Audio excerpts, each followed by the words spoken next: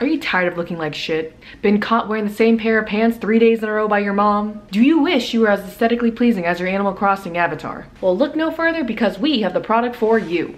As the president of the Sakana Hime Corporation, I'd like to present to you today our latest product, the Basic Bitch Beret, also known as BBB.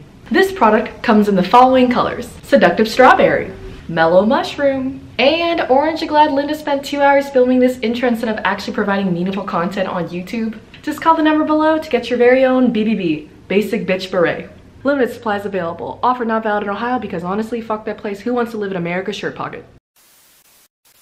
Hi everyone, my name is Linda, but you can also call me Sakana Hime, and today we'll be making these very cute Animal Crossing inspired berets. Like many of you clicking on this video, I am obsessed with Animal Crossing. My favorite part about the game, for me at least, is the fact that you have so many different outfit combinations that you can make. You want to be that strawberry shortcake bitch, you be that strawberry shortcake bitch. You want a goth girlfriend, you make yourself a goth girlfriend.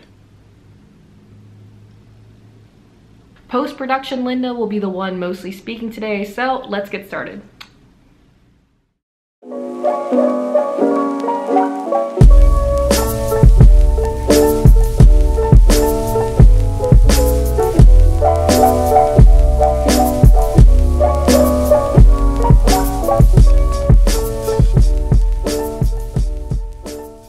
hello, it's your favorite voiceover YouTuber here. Let's talk materials. You'll need half a yard of felt fabric, wool roving, a felting pad, felting needles, measuring tape, scissors, and a compass to draw a circle with. I didn't have one, so I used the next best thing, my unused grad ceremony tassel, 2020 am I right ladies? So now let's talk math. For this next part, we'll be cutting out two circles. The diameter for both of them should be about 12 inches, so if we divide this in half, we'll get 6 inches for the radius.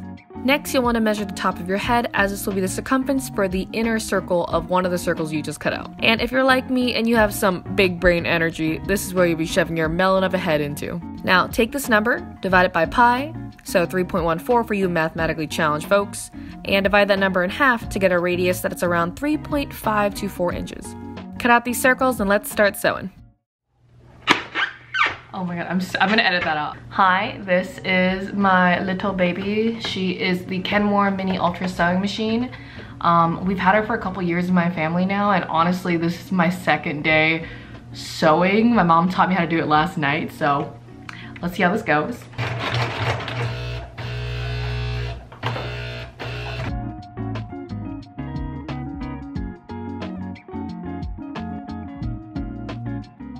If we ignore my shitty ass sewing job, this turned out pretty well, I wanna say. And the next step for us to do is to cut little slits around the entire hat just so it can become like a nicer, fuller circle. Now what we'll wanna do is kind of smooth out the hat, so I'm just running my fingers along the seam right here.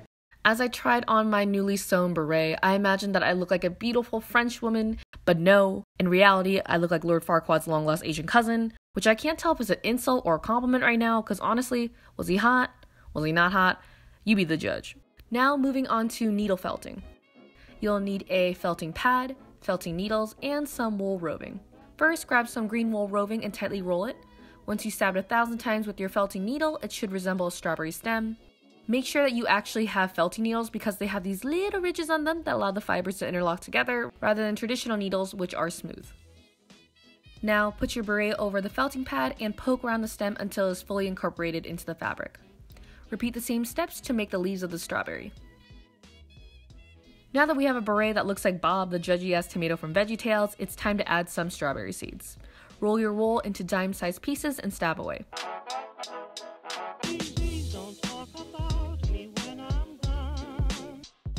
I hope this is therapeutic for all of you to watch because honestly, this was a bitch to do. The only reason why this is cathartic to me in any way was because I kept imagining I was stabbing the hearts of all the awful Tinder boys I met during my hoe days. And that's not managing your anger in an unhealthy way, folks. Through repressing your emotions and taking it out on inanimate objects. We're gonna give my dog this little hat now. Okay. Ooh! Mademoiselle, oh la la! You look so fancy. I made a reported for animal abuse on YouTube, I know it. You look so cute though. okay. Okay, no more. Next, let's line the inside of our hats. Follow the same beret pattern as before, but this time we'll be tucking our actual beret into the lining with the right sides facing together. Sew these pieces together, but leave a little baby hole at the end. Once you've done that, let's pull the fabric through this hole and finish it off by using a blanket stitch. And if you're like me and you can't sew for shit, YouTube has all that you need. In total, I made about three different variations, a strawberry beret, a mushroom one, and a cute little orange hat. And would this be a true Animal Crossing themed video without some outfits to go with our hats? Come on. Tell me in the comment section below which was your favorite hat, and thank you guys so much for watching. Until next time, bye bye.